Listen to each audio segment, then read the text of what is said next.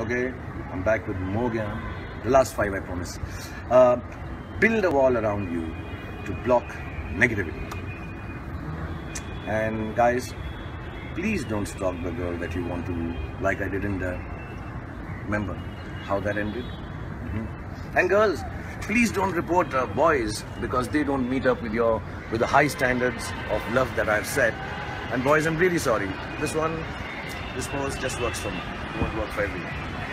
Let your interests instill creativity. By that I don't mean write a book or write a poem. Just live your life like one. You know, live your life like a poem.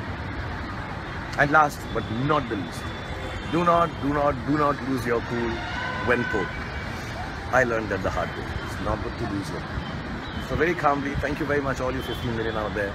I love you very much and I'll be back again with not so much gyan, just to come back and say hi. Till then, be happy, be healthy and uh, have a good life.